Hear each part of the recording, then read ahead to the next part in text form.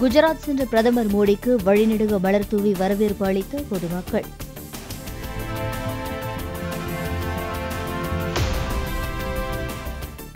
பனஸ்கந்தாவில் உள்ள அம்பாஜி கோவிலில் பிரதமர்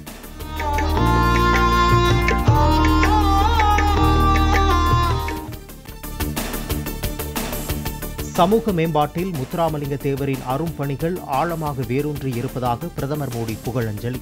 வறுமை ஒழிப்பு ஒற்றுமையை வலியுறுத்திய அவரது ஆன்மீக பாதை தேச வளர்ச்சிக்கு தொடர்ந்து ஒளியேற்றுவதாகவும் கருத்து பதிவு.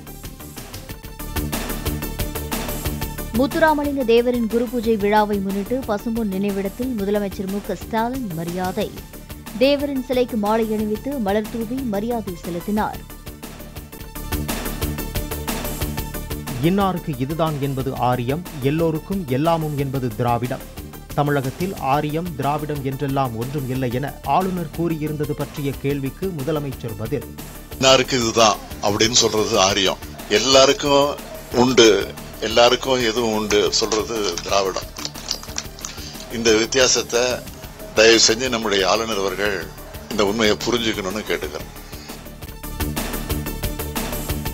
ஆளுநர் மாளிகைக்குள் பெட்ரோல் குண்டு வீசப்படவில்லை. மாளிகைக்கு வெளியில் தெருவில்தான் குண்டு வீசப்பட்டதாக முதலமைச்சர் விளக்கம். இந்த விவகாரத்தில் ஆளுநர் மாளிகை திட்டமிட்டு போய் பரப்புவதாகவும் முதலமைச்சர் கருத்து.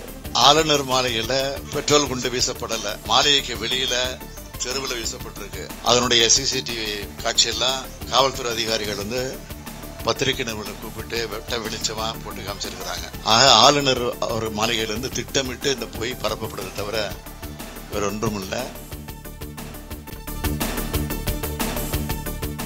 தேசியமும் தெய்வீகமும் இரு கண்களாக கொண்டு வாழ்ந்தவர் முத்துராமலிங்க தேவர் தேசிய தலைவர்களில் ஒருவராக விளங்கியவர் ஏழை எளிய மக்களுக்காக வாழ்ந்தவர் என்றும் இபிஎஸ் புகழாராம்.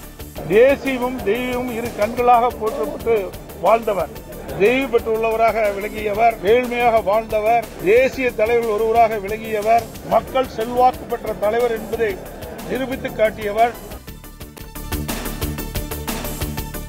பசும்பொன் தேவர் நினைவிடத்தில் அஞ்சலி செலுத்தினார் அண்ணாமலை.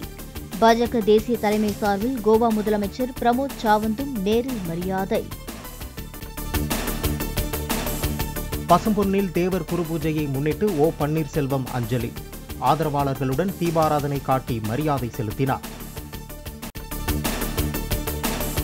முத்துராமலிங்க தேவரின் குரு பூஜை விழாவை முன்னிட்டு பசும்பொன் நினைவிடத்தில் சசிகலா மரியாதை. நினைவிடத்தில் கீழே அமர்ந்து வழிபாடு செய்தார். தேவர் நினைவிடத்தில் அன்புமணி ராமதாஸ் மரியாதை. விடுதலை மற்றும் சமூக நீதி போராளியாக வாழ்ந்த முத்துராமலிங்க தேவரை சாதிய தலைவர் என்ற வட்டத்திற்குள் அடக்கக்கூடாது என பேட்டி. ஆளுநர் மாளிகை பெட்ரோல் குண்டு வீச்சு தொடர்பாக கருக்கா வினோத்தை மூன்று நாள் காவலில் எடுத்து விசாரிக்க சைதாப்பேட்டை நீதிமன்றம் அனுமதி. அரசியல் தொடர்பு நிதியுதவி செய்தது யார் என்பன குறித்து போலீசார் விசாரிக்க வேண்டி இருப்பது அவசியம் என போலீஸ் தரப்பில் தகவல்.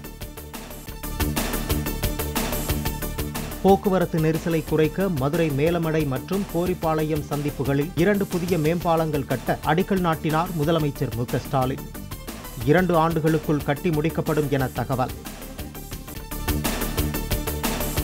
கஞ்சா மது விற்பனை போன்ற சட்டவிரோத செயல்களுக்கு துணை போகும் போலீசார் பணிநீக்கம் செய்யப்படுவார்கள் என சென்னை வடக்கு கூடுதல் ஆணையர் அஸ்ரா கார்க் அறிவிப்பு. ரவுடிகளுடன் தொடர்பில் உள்ள காவலர்கள் மீதும் நடவடிக்கை பாயும் என எச்சரிக்கை. கர்நாடக அணைகளுக்கு நீர்வரத்து இல்லாததால் காவிரியில் தண்ணீர் திறக்க முடியாத சூழல் உள்ளதாக துணை முதலமைச்சர் டி கே சிவக்குமார் பேட்டி. கர்நாடக அணைகளில் உள்ள நீர் இருப்பு குடிநீர் தேவைக்கு மட்டுமே போதுமானதாக உள்ளதாகவும் விளக்கம். ஆந்திராவில் பதினான்கு பேர் பலியான ரயில் விபத்துக்கு ரெட் சிக்னலை கவனிக்காமல் ரயிலை இயக்கியதே காரணம் என அதிகாரிகள் தகவல். சிக்னலை கவனிக்க தவறியது குறித்து விசாரணை நடத்த உத்தரவு. ஆந்திராவில் ரயில் விபத்து நிகழ்ந்த வழித்தடத்தில் தண்டவாள சீரமைப்பு பணிகள் நிறைவு. மீண்டும் இயங்க தொடங்கின ரயில்கள். கேரளாவில் குண்டு வெடிப்பில் காயமடைந்து சிகிச்சை பெறும் பதினேழு பேரில் நான்கு பேரின் நிலை கவலைக்கிடமாக இருப்பதாக சுகாதார அமைச்சர் வீனா ஜார்ஜ் தகவல். போலீசார் தீவிர விசாரணை நடத்தி வருவதாகவும் அனைத்து சந்தேகங்களுக்கும் விரைவில் பதில் கிடைக்கும் என்றும் பேட்டி. குண்டுவெடிப்பு நிகழ்த்தியதாக சரணடைந்த டொமினிக் மார்டினின் பூர்வீக வீட்டில் போலீசார் சோதனை. டொமினிக் கொடுத்த வாக்குமூலத்தின் அடிப்படையில் வெடிகுண்டு தயாரித்ததற்கான மூலப்பொருட்கள் தொடர்பாக ஆய்வு நடத்தியதாக தகவல். இந்தியாவில் மோசடியாக பெறப்பட்டிருந்த அறுபத்து நான்கு லட்சத்திற்கும் மேற்பட்ட மொபைல் தொலைபேசி இணைப்புகள் கடந்த ஆறு மாதங்களில் துண்டிப்பு. ஆதார் அட்டை வைத்து ஒருவர் ஒன்பது இணைப்புகள் மட்டுமே வாங்க முடியும் என்ற நிலையில் சிலர் ஆயிரக்கணக்கான இணைப்புகளை வாங்கியிருந்ததால் மத்திய அரசு நடவடிக்கை. யூடியூபர் டிடிஎஃப் வாசனை நவம்பர் ஒன்பதாம் தேதி வரையில் புழல் சிறையில் வைத்திருக்க காஞ்சிபுரம் நீதிமன்றம் உத்தரவு. டூ வீலரை அபாயகரமாக வீலிங் செய்து விபத்தில் சிக்கிய வழக்கில் வீடியோ கான்பரன்ஸ் முறையில் விசாரணை. பெங்களூருவில் தனியார் பஸ் டிப்போவில் ஏற்பட்ட தீ விபத்தில் பதினைந்திற்கும் மேற்பட்ட பேருந்துகள் முற்றிலும் எரிந்து நாசம். கரும்புகையை கக்கியபடி எரிந்த தீயை அணைக்க தீயணைப்புத்துறை வீரர்கள் போராட்டம். சென்னை நேரு உள் விளையாட்டரங்கத்தில் விஜய் நடித்த லியோ படத்தின் வெற்றி விழாவை நடத்த அனுமதி. பல்வேறு நிபந்தனைகளுடன் நவம்பர் ஒன்றாம் தேதி விழாவை நடத்த அனுமதி அளித்த காவல்துறை.